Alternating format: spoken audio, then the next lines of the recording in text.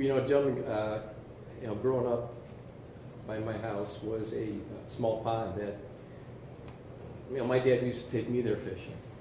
And I still drive past that pond occasionally and smile thinking about that. And sort of in a full moment circle, last year I had the opportunity to take him fishing up in Port Clinton, did a walleye uh, charter. And to me, that's what fishing is all about. Those, uh, those moments, those memories, those traditions.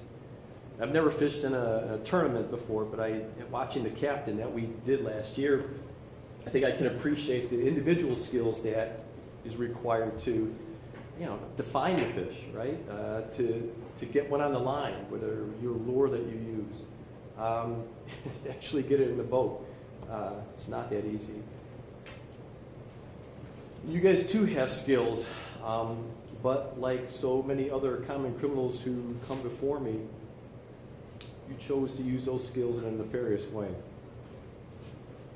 Uh, the ancient Greek writer uh, Sophocles wrote, I would prefer to even fail with honor than to win by cheating. And really, at the end of the day, you're convicted felons and cheaters. After considering the purposes and principles set forth in sentencing, we'll find that you are amenable to community control sanctions. And for count one, be put on Group B supervision for both of you.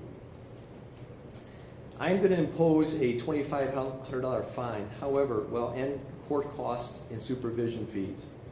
I will suspend half of that fine, fees, and costs, provided that you guys make a, a like one half charitable contribution to one of the 501c3 uh, charitable organizations that focus on, excuse me, fishing and children. There's Cast for Kids Foundation, Kids Fishing Foundation, Fish for Kids Charity Foundation, or the Ike Foundation.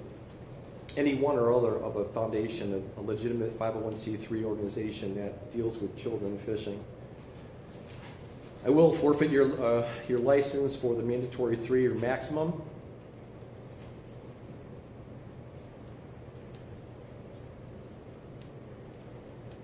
On count uh, four, give you a 30-day uh, jail sentence, which I'll suspend.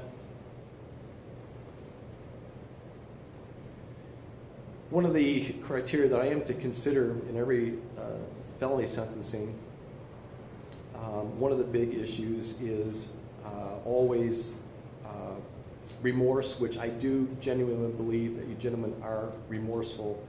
Um, I felt I read that in your letters to me as I've indicated to you, and I do believe that.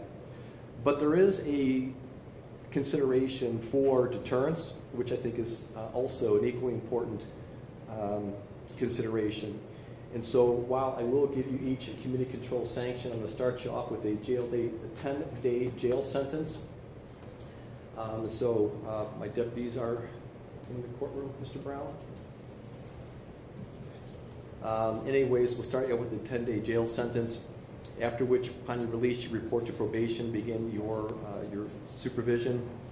Um, I don't recall where you gentlemen reside, and so if there's a uh, need for courtesy supervision, we will certainly uh, authorize that. Uh, anything else, Mr. Rogalski? Um, I want to make sure that the, well, we get out the record, well, the journal entry, the forfeiture of the boat to the Division of Wildlife. And the trailer. And the trailer. Right. Gentlemen, you take these men into custody for a 10-day jail sentence. Uh, anything else, Mr. Gentili? Judge, is there a length of the probationary term? The, it's a Group B, which is for a year and a half. Uh, they violate, they're looking at a 12-month prison sentence on count one. I've given them the credit for, for service on count four. Anything else, Mr. Spellacy? No, Judge, thank you. All right, thank you, everyone. We'll be in recess. Thank you, Your Honor. All rise. Court is now in recess.